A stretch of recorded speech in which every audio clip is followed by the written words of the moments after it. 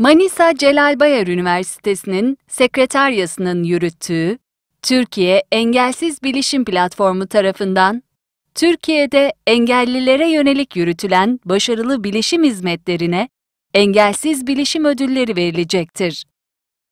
Aday gösterilen kurum ya da hizmetler, oluşturulan jüri üyelerince değerlendirilerek her kategoride ödüle layık görülen kurum ya da hizmetler belirlenecektir.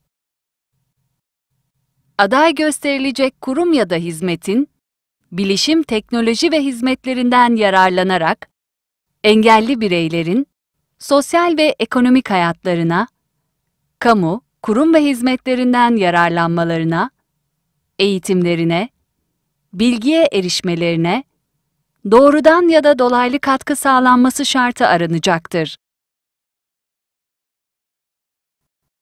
Başvuru ve detaylı bilgi için www.engelsizbilisimodülleri.com adresini ziyaret edebilirsiniz.